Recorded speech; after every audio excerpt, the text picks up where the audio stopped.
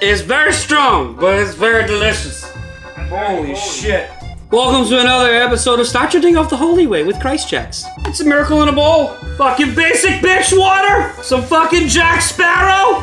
Objection, hearsay. Fuck you. Some fucking blue stuff. Where the fuck is the peach schnapps? Ugh. I find it and there's like nothing left. Some of this peachy stuff that my wife likes to murder with her friends. The fucking lemonade!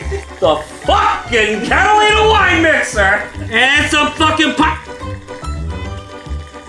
Almost no pineapple juice. Lit titties. Ice, ice, baby! This drink is fucking beautiful. You magnificent. The fucking holy water! In nomine Patri et Filii Spiritus Sancti.